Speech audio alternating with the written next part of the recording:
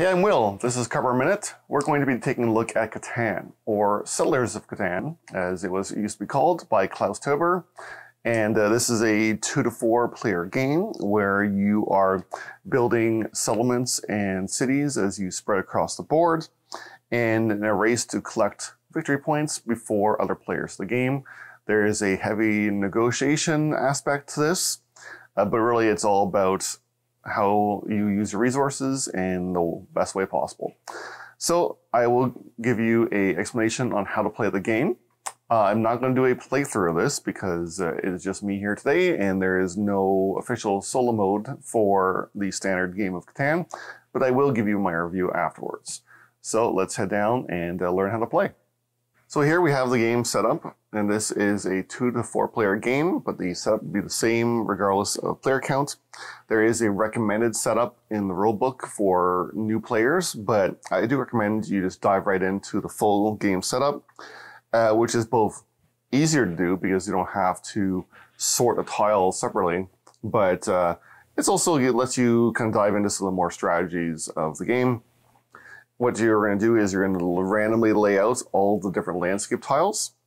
You're going to put the frame around and also a, uh, you can follow the numbers, in, but I don't think it really matters.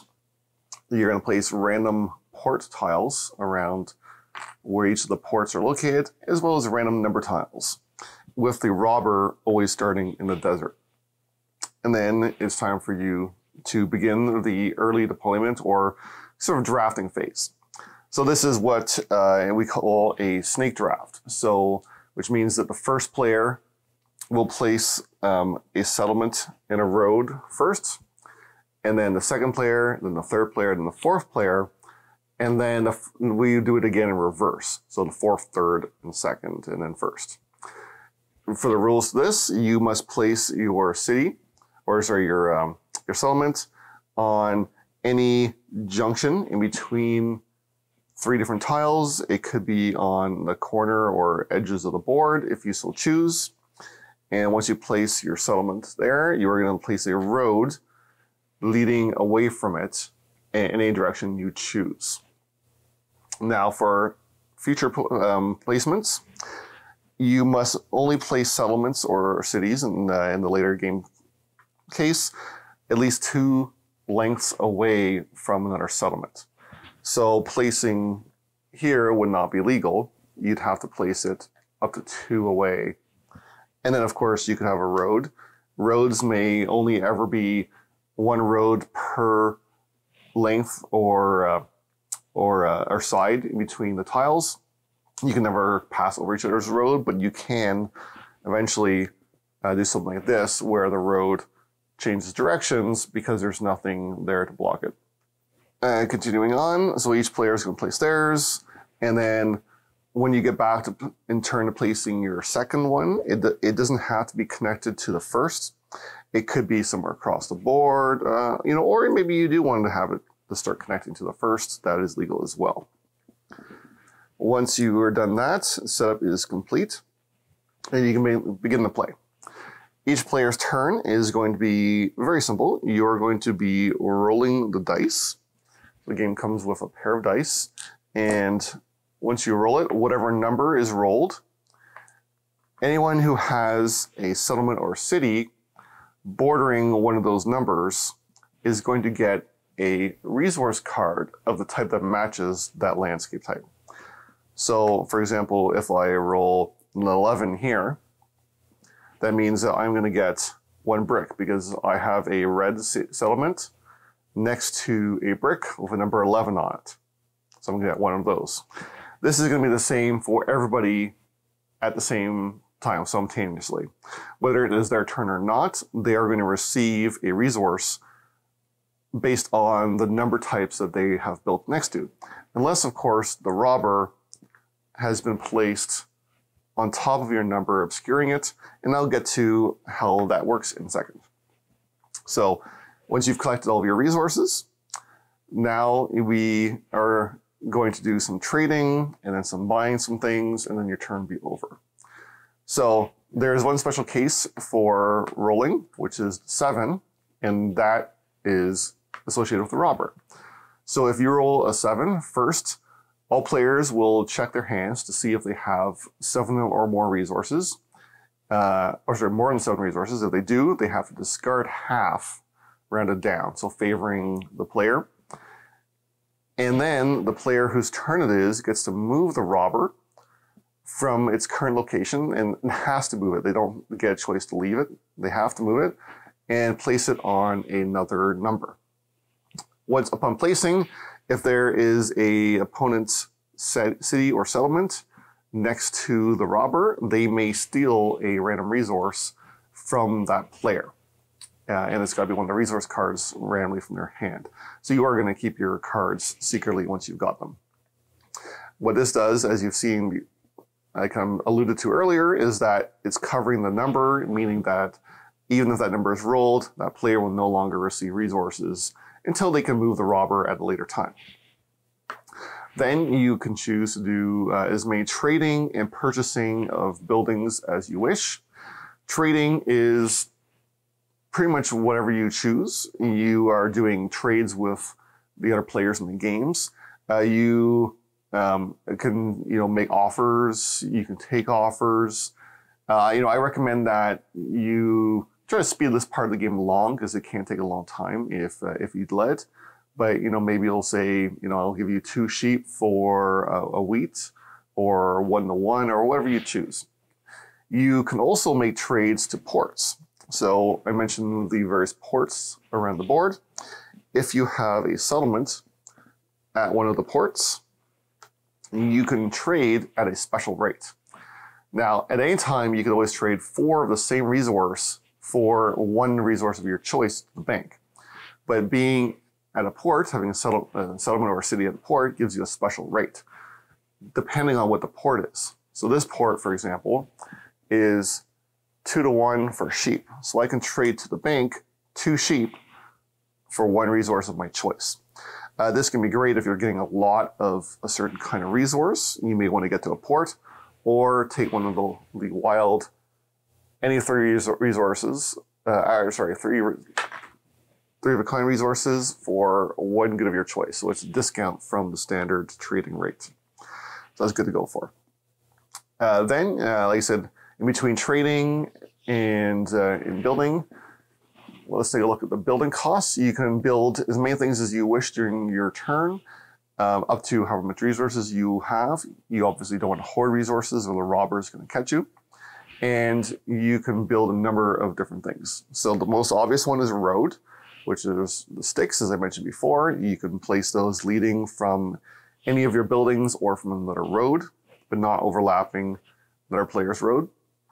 You can purchase a settlement, which like I said, must be two spaces or two kind of corners away from one of your existing ones, and must be connected by roads. This is obviously a core part of the game because now you're going to get more resources. Of course, if you had multiple settlements, so if I rolled a six here, because I have two settlements, I would be getting two wheat from this location. The next thing you can do is you can purchase a city. A city is an upgrade of a settlement, so you have to have an existing settlement and you replace it with one of these larger city tiles. Now what this does is that a city is going to collect two resources of the type that it is next to when that number is rolled. So for getting back to my example, if I roll a six, or if, rather if any player rolls a six, my settlement is going to get one wheat, my city is going to get two wheat. So in this case, I would get a total of three wheat. And lastly, you can buy a development card. There is a deck of development cards here. And uh, there's really just kind of three varieties of cards in there. The one you'll see the most commonly is the Knight. The Knight allows you to play it to move the robber and do the action of the robber. So you would then get a steal resource uh, from an owner who is adjacent to wherever you move the robber to. Uh, you can, by the way, only play one card per turn. The green cards usually involve, uh, you know, masses of resources and, and some different uh, gaining of special special things. And then there is the yellow cards, which are worth a victory point at the end of the game. So Since this game is a race to 10 victory points, that could be uh, a step towards winning. Uh, and of course, in order to get those 10 victory points, you have, like I said, the yellow cards count as a point, settlements count as one point, and cities count as two points. There are also two bonus objectives. So there is the longest road objective. So if you're able to achieve five road segments connect all connected together in a single line, then mm-hmm. you can grab this longest road achievement, which is worth two victory points. If any player were to build more than you, then you they will steal this card and they will gain those two points instead. So whoever has this will have two points. And there is another achievement for the largest army. So if you've played three knight cards, you could take the longest, the largest army achievement for two points, which again can be stolen from you if any player surpasses your current level of army. So whoever has the most uh, will gain that card. First to 10 points wins, and that's the game. Now let's head back up and I will give my review. Okay, and that is how to play Settlers of Catan, or Catan as it's been renamed. So, um, really, there is no theme. I know uh, I'm, I do have to say at the beginning that there was some arguments over the theme of this game. Uh, we're not going to cover that in a review. They've renamed it, but largely you're just spreading buildings around. It is, is a pretty themeless game. There's not a lot of attachments to the theme in this game you know, it is uh, just a, a, straight race to points with some basic resource trading and collecting. So, uh, in terms of what it does well, it is a not too long game, or it can be not too long, as long as players will keep their trading to a minimum or or accelerate the speed of their trading. Uh, however, depending on the players, it can really bog things down if a lot of people are arguing or fighting over what the trade is going to be. Uh, obviously, the more players, the the longer. Uh, some versions of the games will play up to five players. Um, I also have, you know, there's a miniature version of the game I have for trading, uh, for trading for traveling, which uh, has a weird plastic board. But uh, this game has, you really have to do hand it to uh, and uh, Catan because I don't know whether it was just in the right place at the right time but Catan really did kind of kick the, or kickstart the, which is, sorry for the term, uh, kickstart the adoption of Euro style board gaming into North America. Uh, I think it really kind of rode a wave where people were looking for more interactions uh, and smarter game designs, ones that were not based on silliness or just you know the 5000th version of Monopoly that they've all seen before. You know, people were looking for something fresh, some new interesting ideas and designs, something that's clean, that's fun to play with your friends, not too complicated, um, but certainly more complicated than children's games.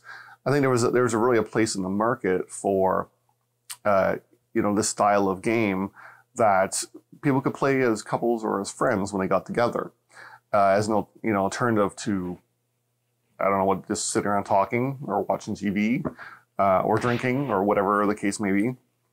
Uh, so it really kind of rode that wave and I think introduced a lot of people into the board gaming hobby. And uh, some people obviously still adore this game. Now, to bring up that side of the story, there uh, is a lot of, um, of unfounded hate for Catan in the board gaming community. But I think it's not because it's a bad game. I think it's just it's popular to hate. Uh, you know, it's um, partially because it uh, you know you know had a little bit of a bad rap earlier. Partially because it got a lot of new players into the hobby who were very excited to play Catan and find more people to play Catan and who hadn't quite discovered that the hobby is quite a bit wider than Catan. But also, I think people just got tired of it after a while. You know, there's a, only so many times you can play it. I think before you know you do start getting tired. Of course, some people love playing the same games over and over again.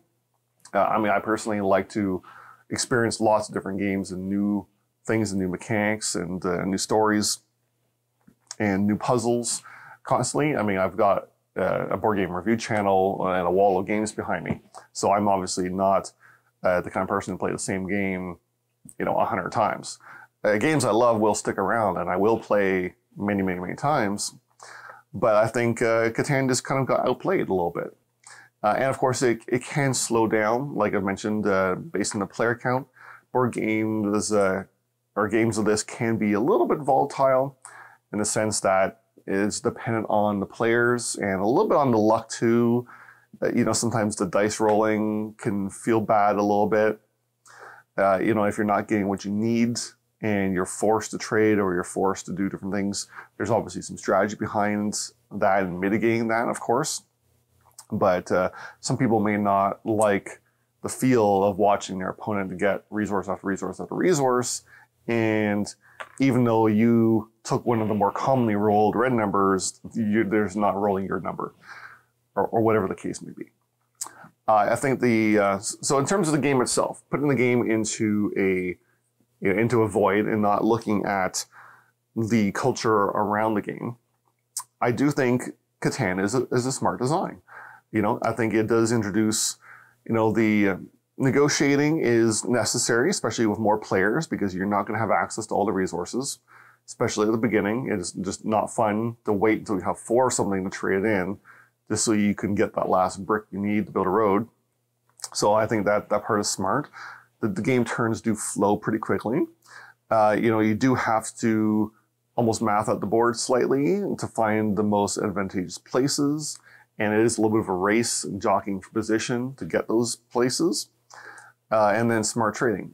Of course, uh, again, there, there is a little bit of a, uh, a downside with it being very player dependent, but I think that is again mitigated by things like development cards that might either give you the extra points or remove the robber or you know get you that little extra something you need if nobody's willing to trade with you. It's a, it's an outlook, and there's a, a little bit of a nice arc to the game too, where you start off with very little things, and it slowly ramps up to the point where you've got multiple cities and settlements on the board, and you're getting lots of resources and, uh, and the game starts picking up speed until it comes to the end. Um, and a, probably a, a, decent time too. Sometimes, uh, sometimes it can be a little bit long. Sometimes it feels a little short. It probably averages out to a good length. And then, of course, the replayability. While the game is uh, pretty much pretty consistent and small in its scope of rules, there is a lot of variability in how the board can be set up. So it's going to feel a little bit different each time. You know, or do you want to go for some of these, uh, you know, better trading ports and then focus on those resources so that you can kind of do your own big trades? Or uh, do you want to spread out, race for the longest road?